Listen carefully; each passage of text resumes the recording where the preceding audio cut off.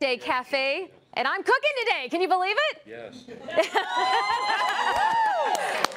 A pause because I don't cook, but we do have our Good Day chef, and this is uh, Mercedes Delgado from. Uh, let's see, where are you? Where are you from again? Smith Public Trust, yes, Smith Public Brookland. Trust, new place down in Brookland, and this is where you want to go to eat some craisin brazen, because that's what we're talking about today. That's what we're doing today. That's what we're doing today. So pretty much I have a pork shoulder right here.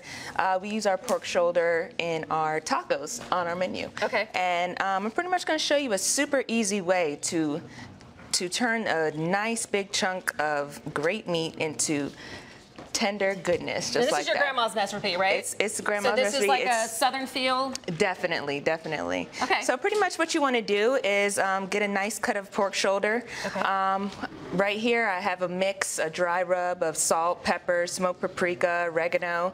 And you can just grab these at the grocery store. You Yes, don't have to go anywhere oh, fancy. it's so simple. Okay. And Okay. pretty much what you want to do is get seasoning in, and you just want to rub it all in there. And you were want saying all that's what's those important. flavors. Yes, you want all those flavors to definitely get through into that meat, Okay. all over.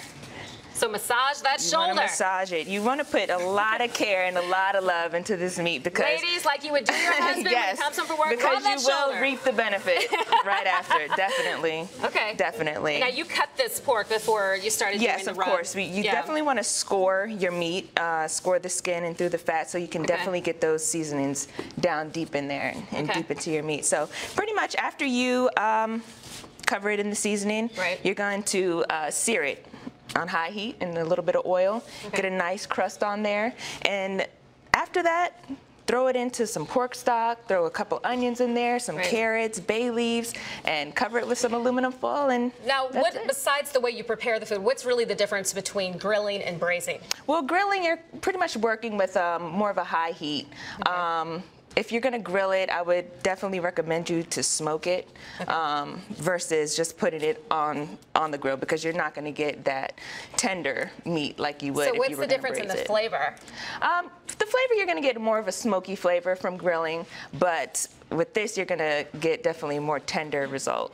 Okay. Yes. And so do you put this in a crock pot or do you put it in a roasting pan? You can put it in a roasting pan, Right. have some liquid, and cover it So put it in the pot and then Yep. just go to work and Put it in the oven, low and slow, 300 degrees, and let it go. And then you have this, and this is what our audience is going to taste. I did this last night before I went to bed. It is delicious in my opinion. You guys will love this. We're going to let you try it. So this is a little braised pork. Yes, that's your final result. Um, you're gonna get tender, falling off the bone meat that's full of all those flavors that you that Great. you rubbed it down in. Great, and we have an opening in July down in Brookland. Yes, we're open store. now. We have a soft opening going on right now, but the grand opening will be right after World Cup. Great, thank you. You're very welcome. All right, you guys, we're going to give this out to our studio audience. Back to you guys.